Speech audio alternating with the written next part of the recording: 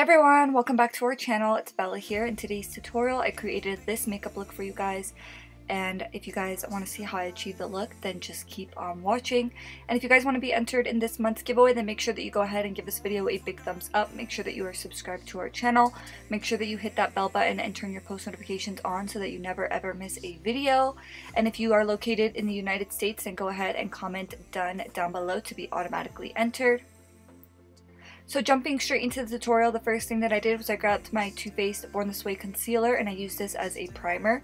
So I just applied it all over my eyelid and then I went ahead and set everything in place with some translucent powder.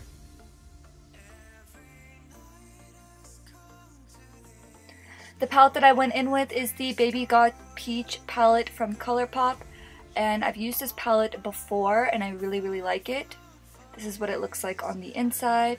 I feel like it's really perfect for those of you guys that just like really neutral looks but you can even dress it up and put something on the lid like a bright color like I did.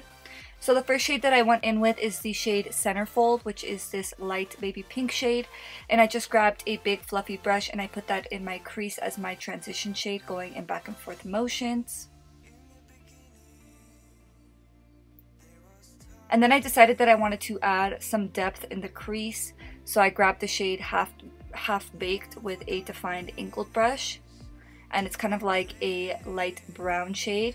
And I put that a little bit above my actual crease, starting to map out where I want to add definition. And I rounded it out in the outer corner.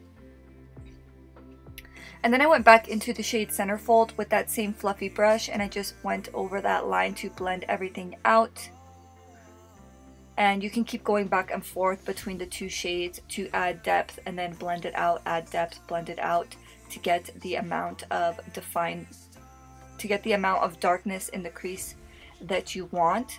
And then I went in with the Jelly Much eyeshadow from Colourpop No Rest for the Vivid and this is what it looks like. It does look really pink in the pan, but once I applied it on my eyelid, it does look a little bit more purple with pink reflex, and I absolutely love the shade. It's super pigmented and super creamy. I love all of their Jelly Much eyeshadows. I highly recommend them.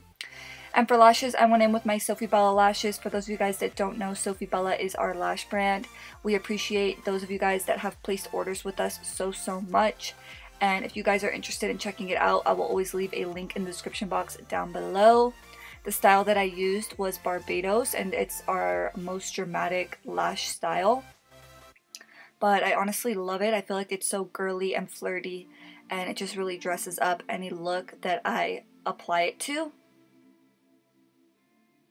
And then I went back into the shade Centerfold and I put that on my lower lash line. Just going in back and forth motions, mainly focusing it on the outer corner.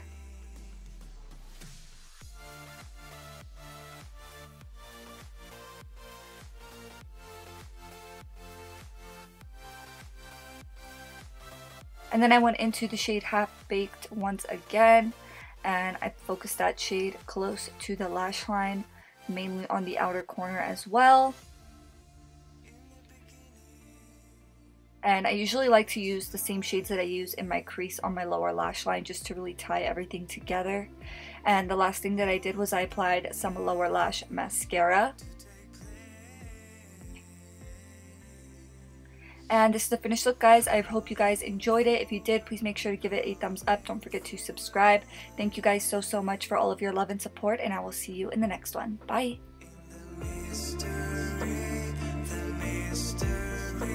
fly.